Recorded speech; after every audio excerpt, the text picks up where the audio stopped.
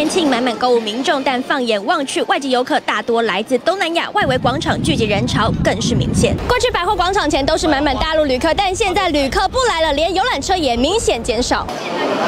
陆客不来了，台湾民众很有感。过去大排长龙的伴手礼区不见盛景。两年多前，他们需要在这个地方派三个人，可是现在您看看，他们只需要派一个人来。从前十部游览车停下来，里面至少七八部是大陆游客。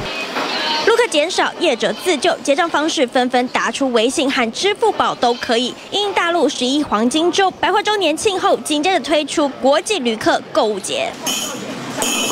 旅游业寒冬，凤梨酥名店感受最强烈。陆客市场原占营业额五成，但二零一八年营业额明显掉四成。根据统计，陆客最爱使用的银联卡，二零一七年在台刷卡总额和过去相比腰斩五百二十八亿，以一盒三百元凤梨酥计算，相当于减少消费一点七六亿盒。二零一六年到二零一七年，在北市消费力一共减少六十点六八亿，相当于少购买了两千万盒凤梨酥。高雄近二十八亿，桃园、台东也相。成为重灾区，很多受很多限制，所以说过来的话就很麻烦、很复杂，所以说，呃，很多人想过来是没办法过来。